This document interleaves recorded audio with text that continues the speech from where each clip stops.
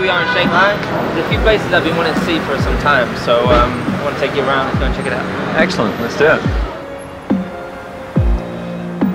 It's nice to get here early and then take a bit of time to see the city because actually I didn't realise how beautiful the city was.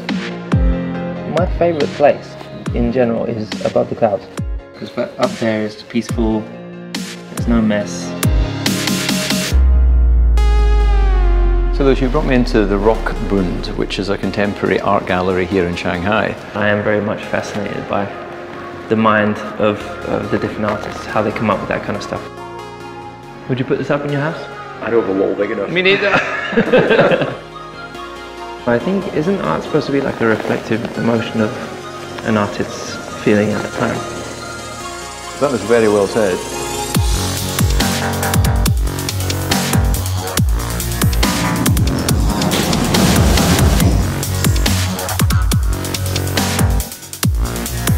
This is fish and chips.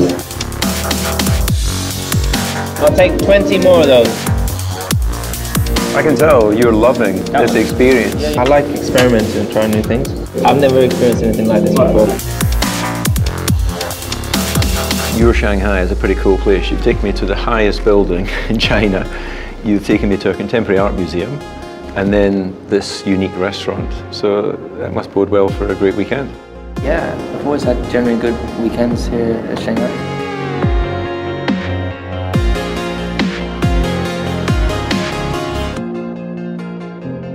So many pieces go into making one World Rally car, so it's time to get technical. This is from the Austrian Grand Prix 2014, and I've been told that there are a lot more trophies from this year on the other side of the factory, which I, and I'm sure you, will want to see.